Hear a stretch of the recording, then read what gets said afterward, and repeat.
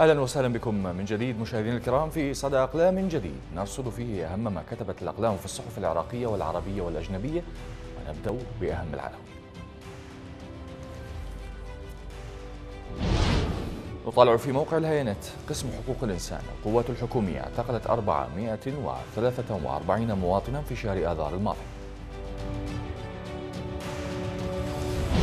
ونتصفح في المدى. شرطة ذي قار تحذر من تأثير السلوكيات العشائرية على السلم المجتمعي.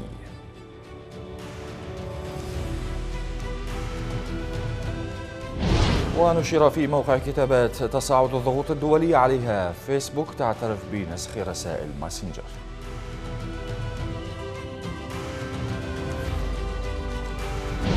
ونتصفح في الجزيرة أن الدوما تنزف مجددا ونظام يضغط على جيش الإسلام.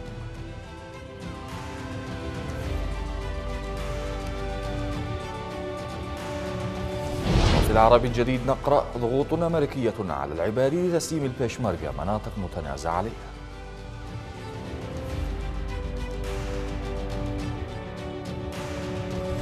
ونطالع في القدس العربي ماتيس نعمل على تسوية المسائل المتعلقة بدعم حلفائنا في سوريا بعد الانسحاب.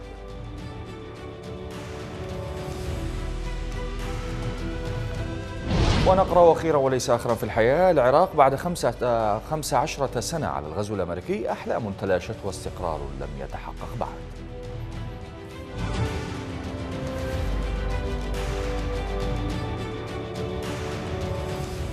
أهلا بكم. بوش في مذكراته قرارات قرارات مصيرية حقيقة هناك. أقر حقيقة الهزيمة التي لحقت برجاله وعدم صحة التقارير الاستخباراتية بشأن وجود أسلحة دمار شامل في العراق. فمن المهم العودة بذاكرة العراقيين والعرب إلى حقائق الدوافع الحقيقية لاحتلال العراق في 2003 لماذا تم الاحتلال؟ الوثائق والمستندات التي تؤكد هذه الحقائق تحتاج إلى مجلدات وكتب تثبت للعراقيين والعرب والعالم أن صانعي ذلك الاحتلال كانت تحركهم دوافع تدميرية للعراق بحسب الكاتب ماجد السامرائي في صحيفة العرب اللندنية.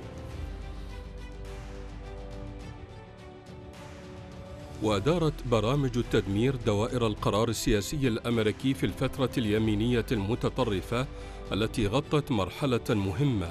منذ أواخر الثمانينات القرن الماضي ثم وصلت إلى عقل الرئيس الأمريكي جورج بوش الإبن المتحمس إلى تحقيق تلك الأهداف بعد أن طوقته شلة المحافظين الجدد ديك تشيني وزلماي خليل زادة وريتشارد بيرل ودوغلاس فيث وجون بولتون.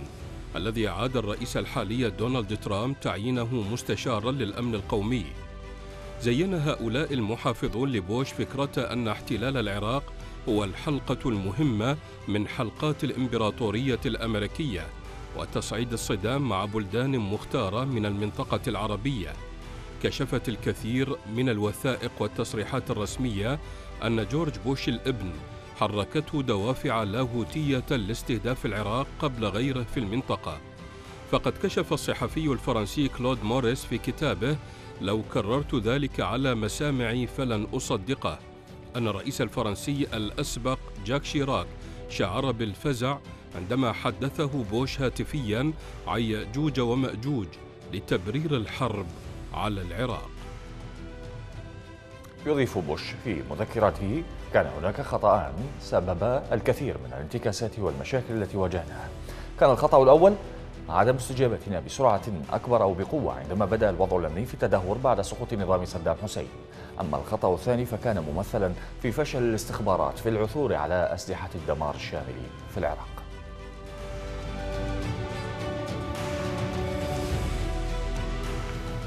منذ 2003 أصبح لمطار المثنى وظيفة جديدة. تمثلت بأنه سجن سري استخدمه المالكي كذلك باستقبال جثامين القتلى في المعارك وحفظها في ثلاجات كبيرة داخله. واعتبر المطار واعتبر أيضا بالأحرى المطار مركزا لتسليم قتلى الجيش العراقي والحشد الشعبي وبات مشهد البوابة الجنوبية له محزنا للغاية حيث النحيب الذي لا ينقطع عند الباب من قبل ذوي القتلى وبذلك دخل المطار مرحلة لم يشهدها منذ تأسيسه وحتى اليوم ولا يزال يستقبل جثث المقاتلين التي يتم حفظها في الثلاجات لأيام قبل تسليمها إلى ذويها تقرير لصحيفة العرب الجديد عن مطار المثنى في بغداد.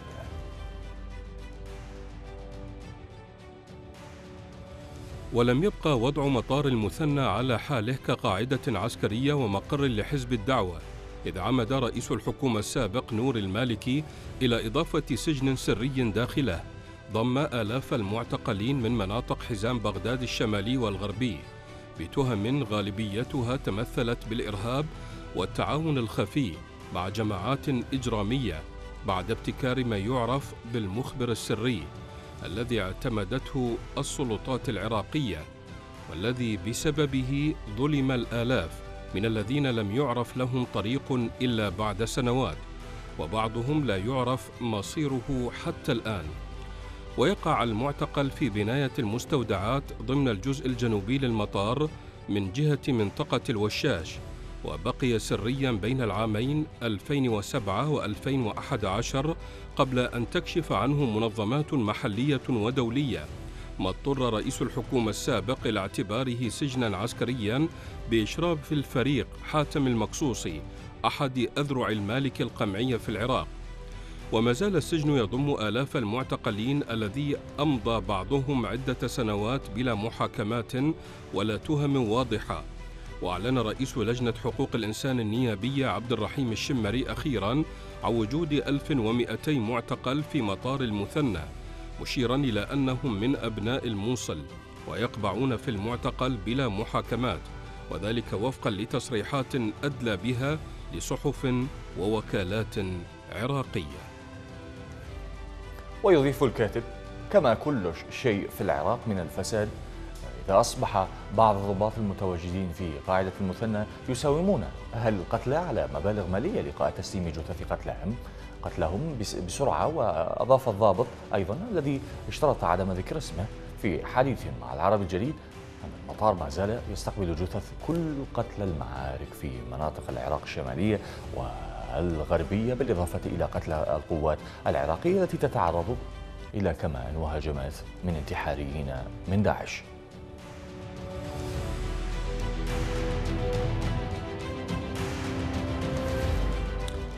الكل يعلم جيدا أن مفوضية الانتخابات تشكلت بعد صراعات حزبية بحتة دامت لعدة أشهر لتنتج المحاصصة بعدها مما قوض حياديتها وجعلها مسلوبة الإرادة وبعيدة عن الاستقلال كل البعد.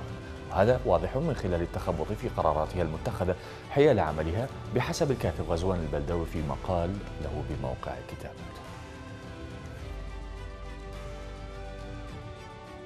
ما إن اقترب الموعد النهائي للانتخابات حتى بدأت تخرج بعض التصريحات من المفوضية تهدد بنذير شؤم. تخرج منها رائحة الخيانة. تقف خلفها التحالفات الكبيرة لأنها الرابح الأكبر من هذه اللعبة القذرة التي تديرها الأيادي الخفية الملطخة بالفساد والسرقات. لعل سائلا يسأل لماذا تتهمون التحالفات الكبيرة في هذا الأمر؟ وما هو السبب الذي يجعلها تقف خلف ذلك؟ الجواب بسيط بما إن مجلس المفوضين مقسم بين بعض الكتل والأحزاب اذا اجتماعها بطبيعة الحال سيؤدي إلى اجتماع ممثليهم في مجلس المفوضين على الأمر ذاته ومصادقتهم بأغلبية على تمرير أي قرار يخدم مصالحهم جميعا لكي تبقى الأحزاب والكتل الصغيرة هي الخاسرة الأكبر من ذلك.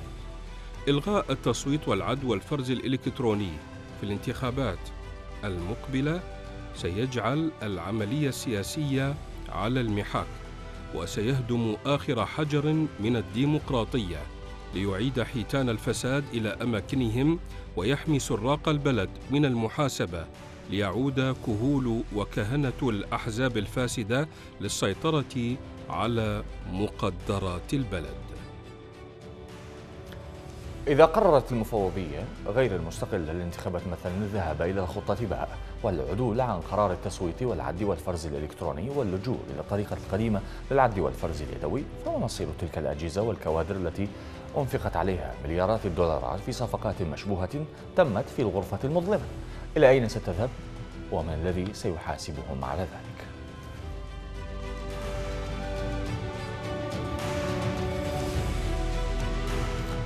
كيف تحولت بلدان مثل إيران والعراق وسوريا واليمن التي تعد أهم مراكز الحضارة الإنسانية مسرحا للقتل والإرهاب والحروب والمآسي التي تقف خلفها إيران.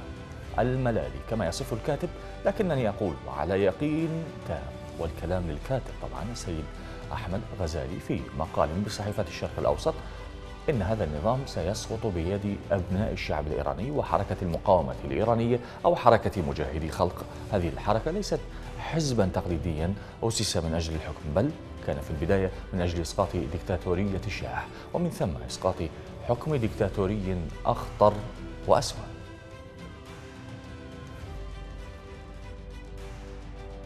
إيران الملالي تدعي الإسلام لكنها قتلت أكبر عدد من المسلمين من أي بلد آخر في العصر الحديث. ولا شك في أنه ليس هناك أي حل للبلدان العربية والإسلامية إلا باستئصال هذا الورم السرطاني. الذي يعرف نفسه بنظام ولاية الفقيه. النظام الحاكم في إيران يرى نفسه وصيا على البلدان العربية والإسلامية ويعمل من أجل التدخل السافر في هذه البلدان وتصدير الإرهاب والحروب الطائفية إليها بكل ما لديه من قوة وإمكانات.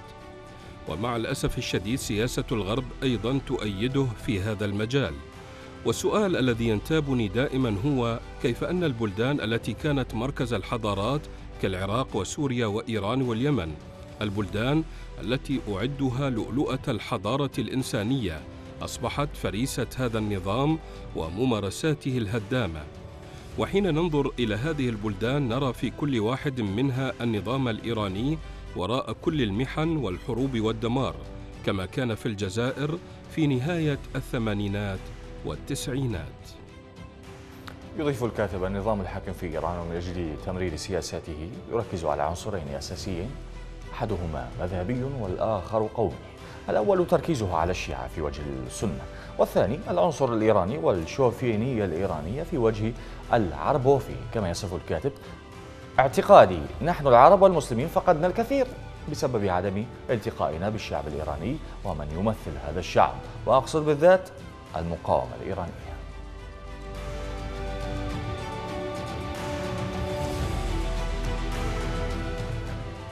يصبح العالم ويمسي على وقائع الانتهاكات الإنسانية ومشاهد جرائم الحرب التي يرتكبها كيان الاحتلال الإسرائيلي ضد الشعب الفلسطيني الأعزل دون أن يرف جفن لما تسمى بالعدالة الدولية أو المجتمع الدولي. وأمام كل جريمة يرتكبها كيان الاحتلال الإسرائيلي بحق الشعب الفلسطيني يزداد ضمير العدالة الدولية والمجتمع الدولي تبلدا وموتا.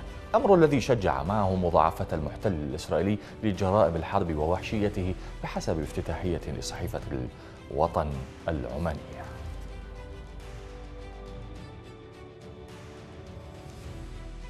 في وضع يطغى عليه الكذب والنفاق والتدليس كما هو حال كيان الاحتلال الإسرائيلي الذي قام على الكذب والتدليس والنهب والسرقة والإبادة وجرائم الحرب وانتهاك الإنسانية. لا يعدم كذبه يبرر بها استهدافه الوحشي ضد المدنيين الفلسطينيين المنتفضين سلميا. وبالتالي جملة كملاذ أخير في سياق دعوة المتحدثة باسم مكتب الأمم المتحدة لحقوق الإنسان. سيعدها القاتل المجرم الإسرائيلي رخصة له بالقتل وسيبني عليها سيلا من الأكاذيب لتبرير جرائمه.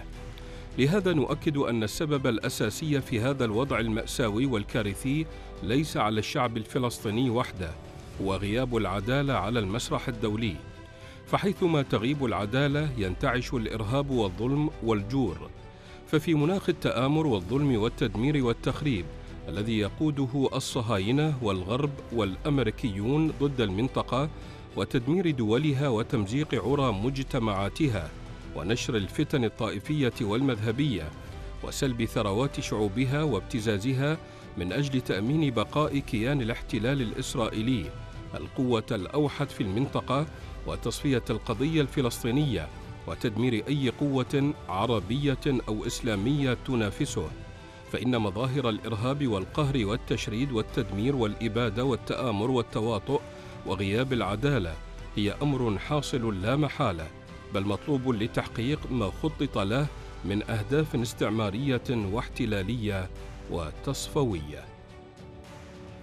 وتضيف الصحيفة يحاول المتآمرون أن يجعلوا من الشعب الفلسطيني والشعوب العربية والإسلامية المستهدفة صيدا ثمينا لتمرير أهداف ومشاريع تآمرهم ولكن على الرغم من كل ذلك فإن الشعب الفلسطيني وغيره من الشعوب المحبة للحرية والكرامة والرافضة لمظاهر الخنوع والتبعية تؤكد أنها قادرة بل الأقدر على ضرب مشاريع التآمر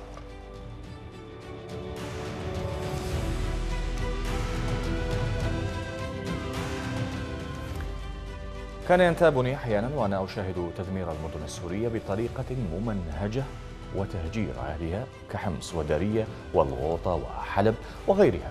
كان ينتابني شعور بأن كل ما حدث في سوريا من دمار وتهجير كان مجرد مقدمة مدروسة لإعادة تنظيم المدن السورية عمرانيا وديموغرافيا. هكذا كتب فيصل القاسم في صحيفة القدس العربي حيث تحدث عن التغيير الديموغرافي.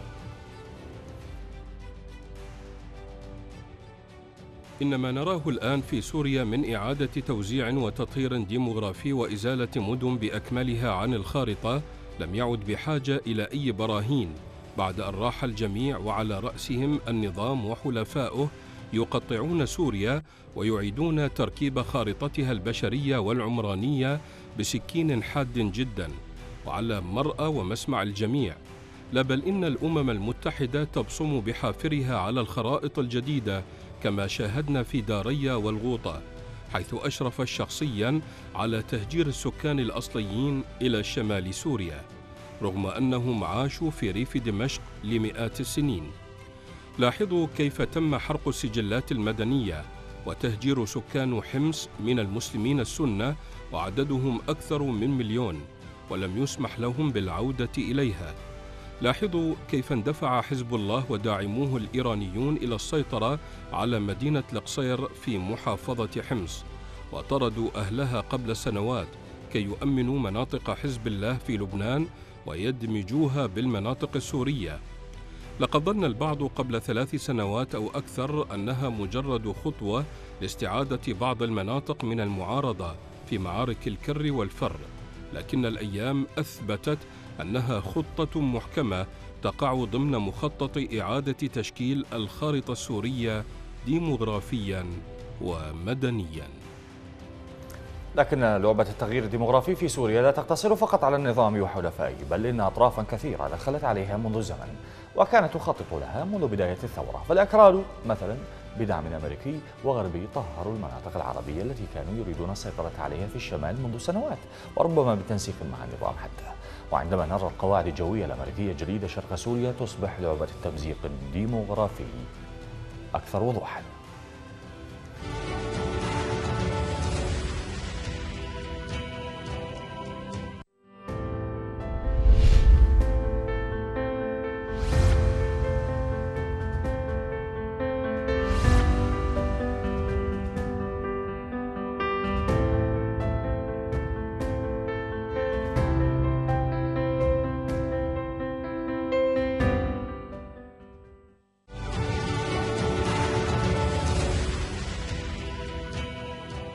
بعيدا كل البعد عن السياسة كشفت دراسة أمريكية جديدة عن أن التدهور العقلي ليس حتميا وأن المخ يواصل تجديد نفسه مع تقدم العمر وقال علماء الأعصاب بجامعة كولومبيا في نيويورك أن باستطاعة الناس منع تدهور نشاط الدماغ باتباع حياة صحية أسلم وبالحفاظ على لياقتهم العقلية من خلال التعلم المستمر. وكانت الدراسة التي أوردتها صحيفة التايمز فحصت أدمغة 28 شخصا ماتوا فجأة ولأنهم كانوا جميعا يتمتعون بصحة جيدة إدراكيا. وكانت أعمارهم تتراوح ما بين 14 و 79 سنة فقد تمكن العلماء من رسم مخطط أدمغة البالغين مع تقدم العمر. وعلقت الباحثة بجامعة كولومبيا مورا بولدريني. على هذا الاكتشاف بقولها أن معرفة أن هذه الخلايا العصبية موجودة وأنها لا تزال قادرة على التكاثر تمكننا من فهم المزيد حول كيفية نشاط الشيخوخة السليمة وكذلك فهم كيفية سير الأمور عندما لا تكون على ما يرام. وقال خبير آخر إن هذه الدراسة توفر المزيد من الأدلة على أن الانحلال والتدهور العقلي ليس نهاية المطاف كما يعتقد الكثيرون.